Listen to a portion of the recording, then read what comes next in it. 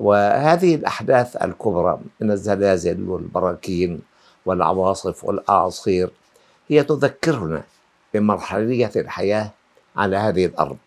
حتى لا يتخيل الناس أنهم مرتبطون آه، بهذه آه، الأرض يعني ارتباطا أبديا آه، أبديا صارخا.